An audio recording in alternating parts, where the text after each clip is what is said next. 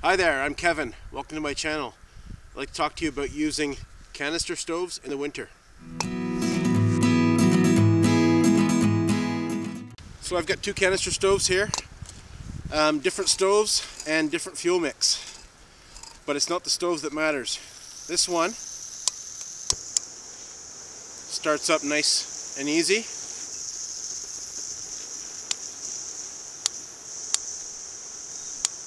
This one doesn't. Doesn't start at all right now. Both these stoves have been in my fuel shed overnight at minus 20.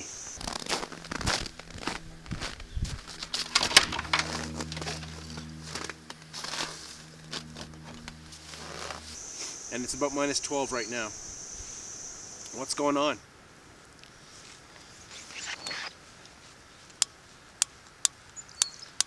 I can't get this one to start at all. Alright, here's the trick. Get yourself some sort of tray. Add your canister stove and add some water.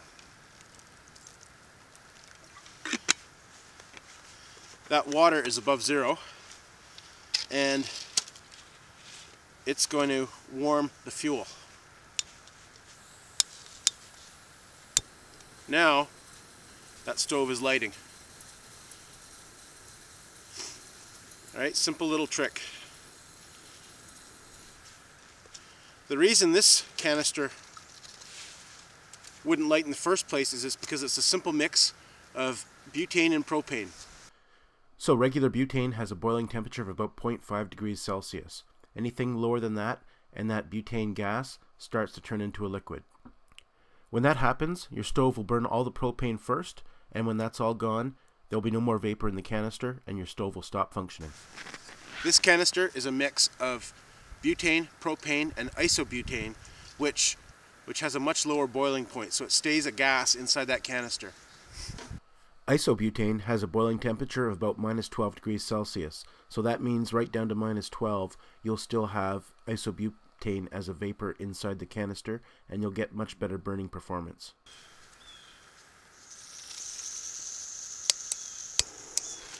Starts no problem, burns nice and loud. I can put this on the ground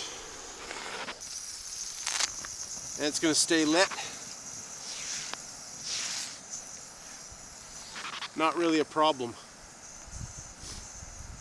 It's all about the fuel. It is slowing down a little bit. So if you're using a canister stove in the winter, you want to make sure that you keep the canister relatively warm so it starts for you. But more importantly, you want to make sure you're using the right fuel. You don't want to be using simple butane and propane. You want to be using a four season blend of propane, isobutane, and butane. So if you want to go much colder than that, you need an inverted canister stove. An inverted stove has a generator which preheats and vaporizes the liquid gas. The canister is turned upside down, and so you're always burning a consistent mixture of gases. All right, thanks for watching. You have a good day.